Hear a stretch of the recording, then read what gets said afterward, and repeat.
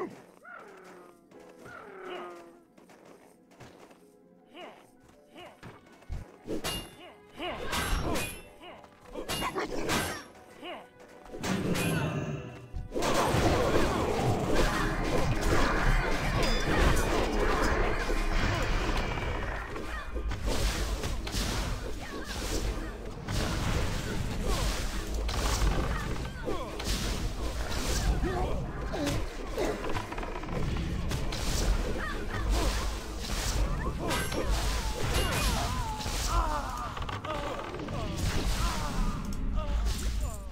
Alright guys, here's another short little guide on AoE farming as Hunter. This is going to be freeform, so nothing is scripted or anything. I'm just gonna be showing you guys what I'm doing here and uh, how to do this. So right now I'm in uh, Dragonblight. I'm in this area right here. It's the camps with the, uh, I think it's the Onslaught guys. Yeah, and um, I'm going to be pulling a lot of them and then uh, AoEing them down. And this is only possible if you have this set here. You need two pieces of the Rift Stalker set that causes your pet to be healed for 15% of the damage that you deal. So this is absolutely essential. And also, um, you will want the Blood of Rhino thing so that the healing your pet receives is increased by 40%. And then also a must-have is Thunderstomp. Everything else is just add-ons, you know, a little bit more armor, a little bit more health and stuff like that. Um, but yeah, and I also recommend that you you stay as marksmanship. I've tried this as um,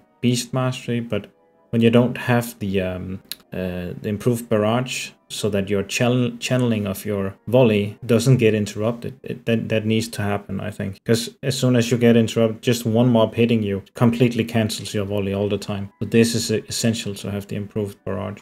And glyphs, I'm just only going with the explosive trap. Uh, on this one, I just have something for true shot, the increased uh, crit chance. You could go with volley to, to reduce the mana cost of it, but I don't really think that's a problem because you're going to be eating and drinking after each pull anyway, and you can't make it faster than what I'm doing because you'll be sitting and waiting for respawns anyway. So, alright, let's try this, see how it goes.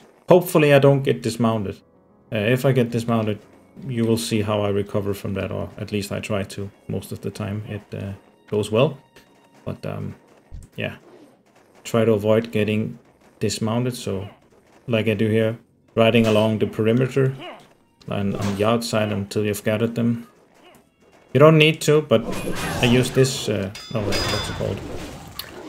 Uh, deterrence trap. I need to be fast, because look at my pet health. Oops.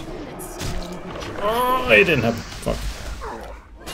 That's not. That's why I'm. Uh, that shit happens when I'm when I'm streaming, and only when I'm streaming this or recording, of course. Right. Oh, and the traps are pulling them. Right. Great. Let's just try that again.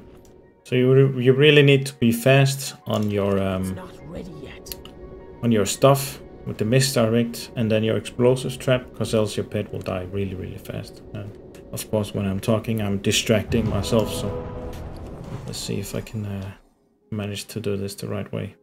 I use Aspect of the Monkey for the increased dodge chance. Just when I dismount, I think it helps just a little bit with survival until the pet can get aggro, but you can play around it however you like. See if we can get these two guys. Apparently not. Alright. And then the pet. Take aggro. There we go. Now. The thing, and then the thing. And now it should work. Yeah. And as you can see, the pet, look at the healing. Out on the right side. Healing for 1500, 1100.